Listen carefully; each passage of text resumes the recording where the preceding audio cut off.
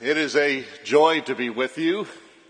Um, this is my neck of the woods. I have good friends um, from uh, all the years I've spent in New Jersey and on this jurisdiction. It is good to be back and to see folks. Um, it is good to be here. Uh, I hope you know what a treasure you have in Phyllis Bowers and in the foundation that's here at Susquehanna Conference. When you, when you don't get a chance to travel beyond the walls of your conference, you don't, you don't get a chance to hear uh, about the excitement that people have in their voices uh, when they talk about what goes on here in the Susquehanna Conference. Um, and about the work of this foundation. And Phyllis has kind of set the bar very high for the other foundations um, in terms of not only managing those funds which get entrusted to you, but also in reaching out to serve local churches. Um, and I've been the stewardship director since only since October. Uh, and I think I've been, she's invited me here, I think at least four times to do workshops. And so, uh, again, when I talk to the other foundation directors, I say, well, when are you going to catch up with Susquehanna? because um, they're really doing a lot to help local churches strengthen their stewardship. And so I do want to celebrate that also this morning. Um, I'm thrilled that they're live streaming and um, that my wife can sit at her desk and sneak a, a, peek at what I'm doing to make sure that I really am where I, I tell her I am. Um, I want to thank Jack for that amazing music um, that got us prepared for worship. Um, and I have to tell you that as I came in this morning and I looked at my uh, link newspaper, I saw that you were going to have uh, the preaching of Bishop Lowry. And that's good news for me because I've heard Bishop Lowry preach. And so in 20 minutes from now, when we're all done, whether I make it to base or I strike out, nobody will remember because you will have heard Bishop Lowry preach, I think, twice. And that's what will stay with you. And uh, you're in for a treat. Uh, he's a wonderful preacher and a wonderful leader in the church. Let me share with you um, one additional scripture uh, that I'd like to share as I begin this morning, and it is from um, the Gospel of Mark, uh, I'll be reading chapter 10, uh, 17 through 27. I'm reading from uh, the tablets. You know, remember Moses got the tablets? Which, by the way, I'll do a little mention to you. Um, the, the Common English Bible, the newest Bible that's released by Cokesbury, if you have a Kindle, or uh, it's free today on Amazon. So don't wait. You don't have to do it right now. Everybody's getting out their phones, going to download it. It's free on Amazon today. From Mark chapter 10, verses 17 to 27. As Jesus continued down the road, a man ran up and knelt before him and said, Good teacher, what must I do to obtain eternal life? And Jesus replied, Why do you call me good? No one is good except for God, one, for the one God. You know the commandments. Don't commit murder. Don't commit adultery. Don't steal. Don't give false testimony. Don't cheat. And honor your father and your mother. And teacher, the man responded, I've kept all these things since I was a boy. And Jesus looked at him carefully and he loved him. But he said to him, You are lacking one thing. Go and sell what you own and give the money to the poor, and then you will have treasure in heaven, and come and follow me. But the man was dismayed at this statement and went away saddened because he had many possessions. Looking around, Jesus said to his disciples, It'll be very hard for the wealthy to enter the God's kingdom. His words startled the disciples, and so Jesus told them again, Children, it's difficult to enter the kingdom. It's easier for a camel to squeeze through the eye of a needle than for a rich person to enter God's kingdom. And they were shocked even more. And they said to each other, Well, then who can be saved? And Jesus looked at them carefully and said, It's impossible with human beings, but not with God. All things are possible with God. The Word of God for the people of God. Thanks be to God. I'm always amazed at the way that phrases get into our, into our language and into our usage. And sometimes those phrases come out of our popular culture. Sometimes they come from commercials. Things like, where's the beef? Or I've fallen and I can't get up. And phrases like that that become kind of commonplace for us. Sometimes they come out of movies. And as I prepared to speak to you today, I thought of a phrase that's become kind of part of our culture that comes out of a movie that's probably 16 years old now. The movie was a movie called Jerry Maguire. Some of you I look out there are probably old enough to remember Jerry Maguire. And Jerry Maguire was a story about a young sports agent who um, is living the life at the top of his game and he has a crisis of conscience. And so one day he, he tries to turn the direction of the agency, the sports agency he works for, and in the process of that he loses his job. He's fired. And he struggles to retain some of his clients and is only, he's down to one last client. It's a football player by the name of Ron, Rod Tidwell. And he gets on the phone with Rod in desperation and Rod asks him to do one thing. He asks him to say a phrase with him. How many, who knows that phrase? Show me the money. And Tom Cruise says, Show me the money. Show you the money. Show He said, No, no, no. You got to say it. You got to say it with enthusiasm. You got to scream it. You got to say, Show me the money. And that's become part of our culture. And it's, it's true in many ways that it's kind of permeated. Not just the usage of that phrase, but that attitude. And it, it comes from that moment in that movie. And so you're thinking, okay, well, here's the stewardship guy, and he's come to uh, Messiah College, and we're going to talk about Show Me the Money. Where are the plates? Anybody got the plates standing by? No. But what I thought about is that there is another phrase in that movie that you may not know as well. Maybe you do. It's also become part of our culture. Dorothy is the young woman who goes to work with Jerry Maguire. Renee Zellweger plays the part. And of course, as we know from the very beginning of the movie, that somehow their lives will come together. And so at one point, Jerry Maguire realizes how important their relationship is. And he begins to try and tell her in this deep kind of way about, about his life and how his life is complete with her. And she stops him and she says something to him. And does anybody know what she says? You're good. You had me at hello. I like to, I like to look at those two phrases because, you know, when we come to stewardship, people think that it's all about show me the money. But you know, stewardship is about relationships. It's about a God who loved us before we were born, before we did anything to deserve it. It's about a God who doesn't say to us, show me the money, but says, you had me at hello. A God who strives to be in relationship with us, to find that relationship and to believe that. Look at your Bible sometime, start at the beginning and read through, and you'll see that what God's desire is, is to be in relationship with us. It starts with Adam and Eve and it follows through the story. It's, it's, it goes through Abraham and Isaac and Jacob where God says, I have a covenant that I want to make with you. And the covenant is simple. If you will be my people, I will be your God. It's about relationships. It's about that love of God.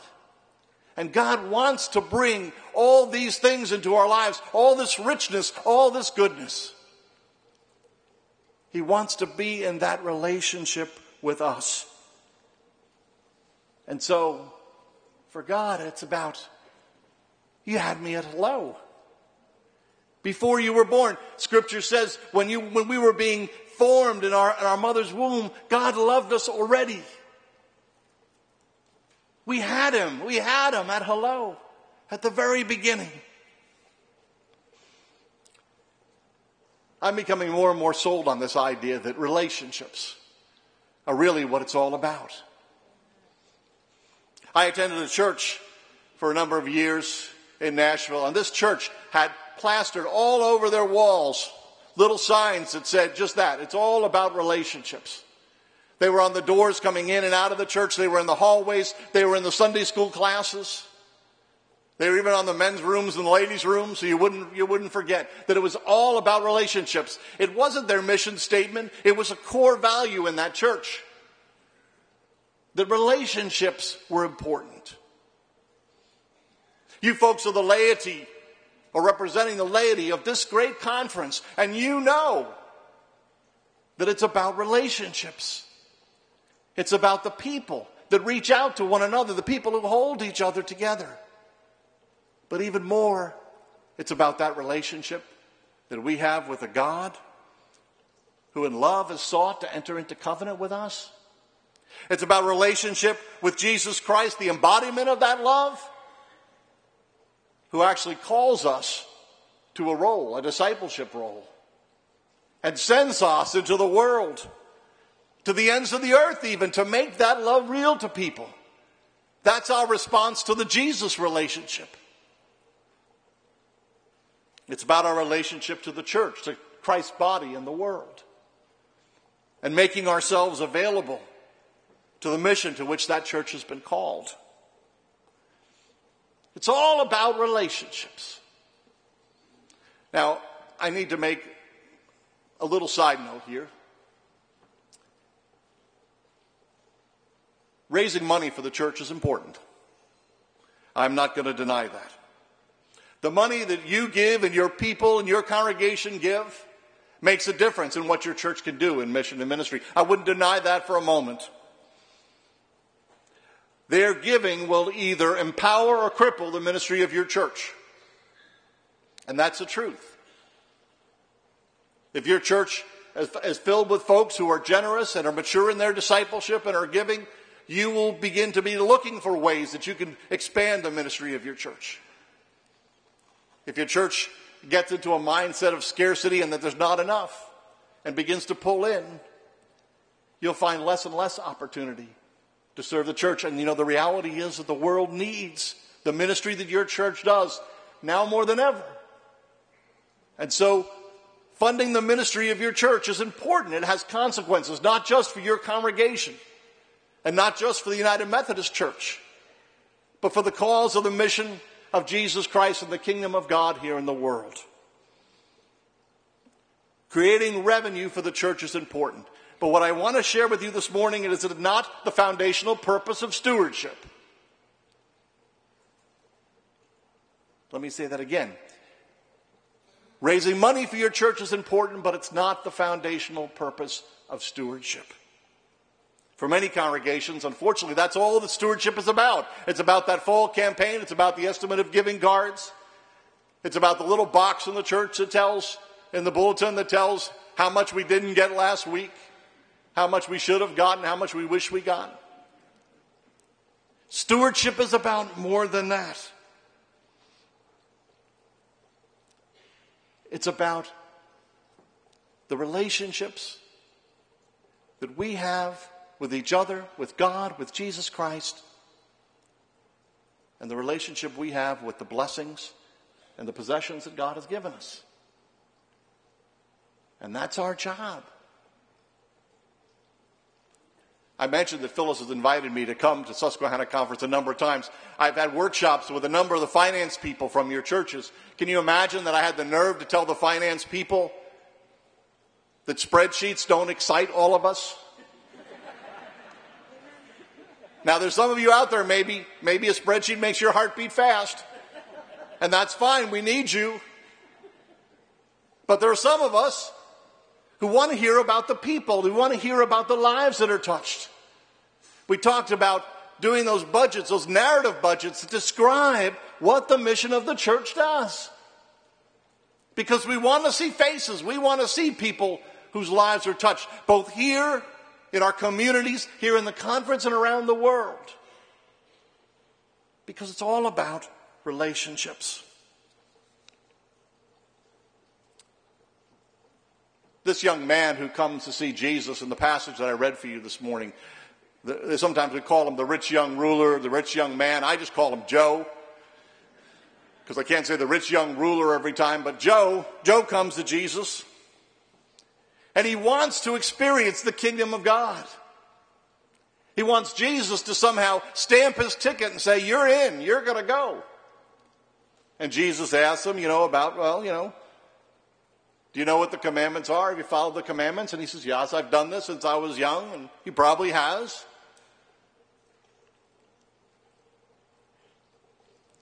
And then he, he does a strange thing. He tells the man that he needs to to give away the possessions that he has. He needs to give them to the poor. Now, how many times have we heard this passage preached as a show me the money kind of passage? As an example for all of us of what we need to give. But I think it's a passage that's about you had me at hello. It's about the relationship that God wants to have with this Joe, with this rich young man. And Jesus says, You're on the right track. You've got it. You're, you're close to that relationship that you desire, that experiencing that kingdom of God. All you need to do is you need to get rid of the stuff that's in the way. And you can just, you can just get rid of it, give it where you want, give it to the poor, get it out, clear it out, get rid of it. And then you can experience the relationship. But Jesus realizes what we know at the end of the story is that as much as this man wants that ticket to the kingdom punched, he's holding fast to those things that seem to him to give security in life. Having that big portfolio, having those investments, owning that land, owning those things. All those are things that seem to grant some kind of security in life. And as much as he holds on to those, he doesn't have to put his trust in God. And you know, for us to have this relationship with God, God wants our trust as well. God wants us to rely on Him. The covenant says, if you will be my people, I will be your God. And part of that is the trust that God will meet the needs that we have. You heard the passage earlier today about the widow who gave those, those copper coins that she had. We also know there's a parable in there about, about a, a man who has a great harvest and is all excited about it and says, Oh, this is great. I'm going to build big barns and I'm going to store up all my stuff in these barns so I don't have to worry about anything. And Jesus says, Well, sorry, it, this very night you're going to give up your life. That, that doesn't buy you security. But what he celebrates in the passage about the widow who gave those two coins is the amount of trust that it took for her to be in that kind of relationship with God, to let go of even that small amount of security, that little bit of a nest egg. Zacchaeus is another example. We celebrate Zacchaeus. Now, Zacchaeus wasn't asked to give everything. Zacchaeus gave half of what he had to the poor, and then he settled people he had cheated fourfold into settlement. But what he did was he let go. And he put trust in a new place. He put trust in God. I attended a. Uh, a gathering last November of ecumenical stewardship folks, stewardship leaders. Phyllis and I were just talking about their, their gathering, and um, I heard a woman speak who's a professor at one of our seminaries in Indianapolis. Her name was Carol Johnston. And she told of a research project. She'd gotten a grant to work on a research project to study generosity in churches. She went across the country talking in different churches, in different settings. Some of them were in very affluent areas, some of them were in economically depressed areas. But talking about people with people and their giving and interviewing people. And she asked a variety of questions, and her findings I thought were fascinating. And one of the questions she asked people, and this one particularly stuck with me, is she said, Do you feel like you make enough money?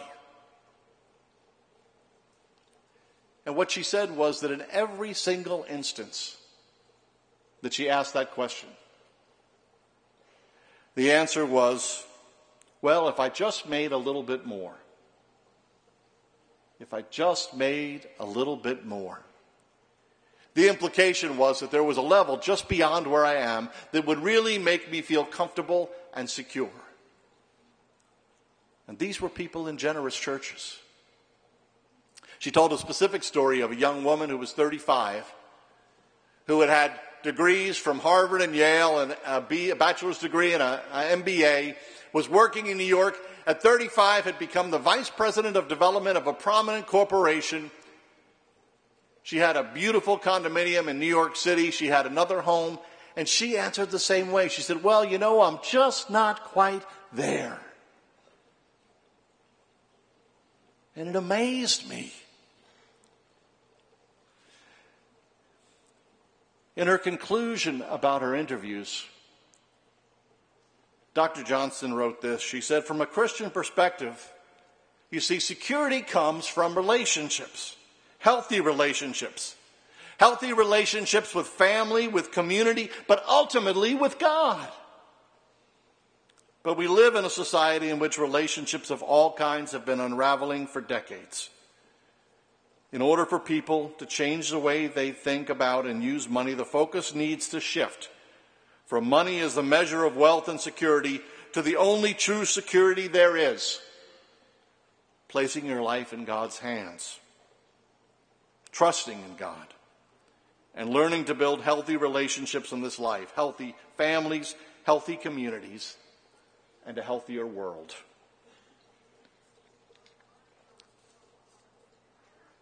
Does that speak to anyone? Here? Uh, does it speak to the congregations in which you serve? I mean, let's be true about it. As the laity, you are the ones who carry most of the weight for the stewardship message.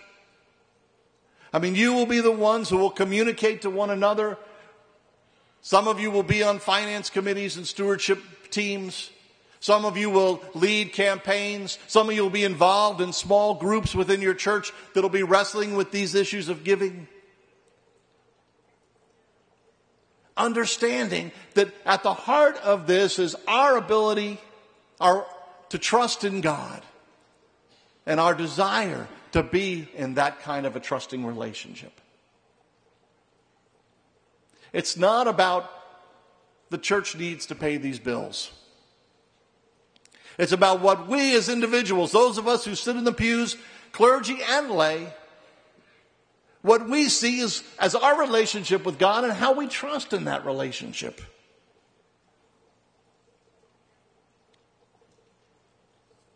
You know, I thought about yesterday when I was on the plane, I thought about the idea that our money, our bills and our coins, those of you who still use that paper and metal stuff. It all says, In God we trust. In God we trust. Maybe someone knew that we needed a reminder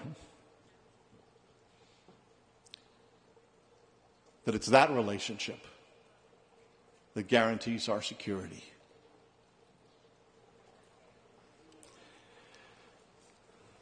I could go on and on. I have, a, I have a story that I love to tell. One of the joys about being invited to preach other places is you get to bring these stories back that you use in your local church and you had to file away because, you know, you can't keep using the same stories again. But one of my favorite stories is a story about a man who was a tightrope walker. You know, one of those guys who went around looking for a place, some kind of huge expanse that they could stretch a wire across and he could walk across. And so he found this one place, this canyon, and they stretched a wire across it. And one day he announced that he was going to go and walk across that, that deep, deep canyon on this thin, thin wire. And the crowd gathered and they were excited to see him walk. And so he got up on the wire and he got his big pole out and he held his pole and he carefully walked across that wire. A couple of times he kind of, you know, wobbled and, and got his balance again and he got to the other side and he turned around and the quiet crowd was hushed as he walked back and, and they cheered for him. And then the next thing is he did is he got the, a shorter pole. And everybody said, ooh and ah, and he went across with the shorter pole and he made his way back and they all cheered for him. And then he put the pole down and he put a blindfold on. And he walked across that wire with the blindfold on. And he walked back and the crowd went crazy. And then he got down off the wire and some people thought he was done. And then to his surprise, he came back up to the wire carrying a, a wheelbarrow, full size garden wheelbarrow. And he turned to the crowd and he said, Do you think that I can walk across this wire pushing this wheelbarrow? And the crowd went crazy. Yes, yes, we think you can do it. And he said to the crowd, Do you think I can walk across this wire pushing this wheelbarrow blindfolded? And their noise was even more. And they were, Yes, yes, we believe, we believe you can do it. And then he pointed to one person in the audience. And he said to this one man, he said, Do you, do you believe that I can push this wheelbarrow across this wire blindfolded? And the man said, Yes, I believe it. And the tightrope walker said, Okay, come and get in the wheelbarrow.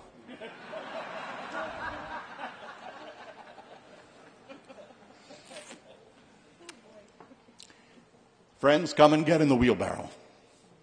What if we went back to our churches this Sunday and we told our folks that we understand that what God is looking for us is not a show me the money kind of relationship. But I, I had you, you had me at hello kind of relationship. What God is looking for is a relationship that's founded on our trust in God as being able to take care of our needs and to meet our needs.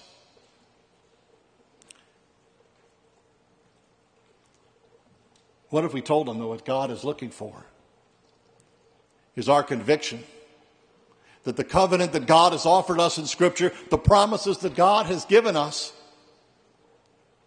are good? And worthy of our trust.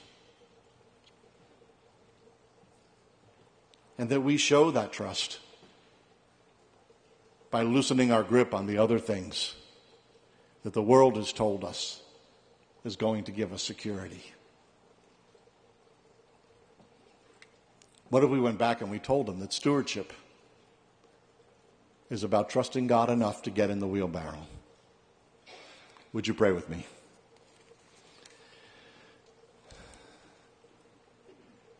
Gracious God, we give you thanks and praise that you loved us so much. Before we were born, before we could do anything that would even begin to deserve that kind of a loving response, that love was there. You, you had it. We had you at hello.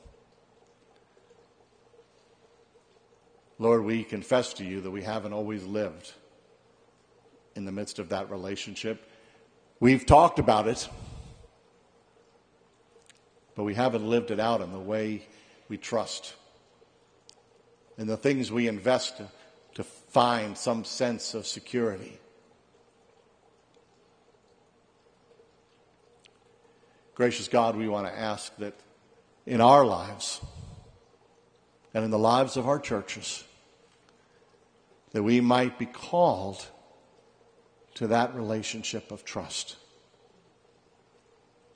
As laity of this church, Lord, of this conference, of this denomination, may we be the example that's set for the world of people who put our trust in you, who know that your word is good, who know that your covenant is strong,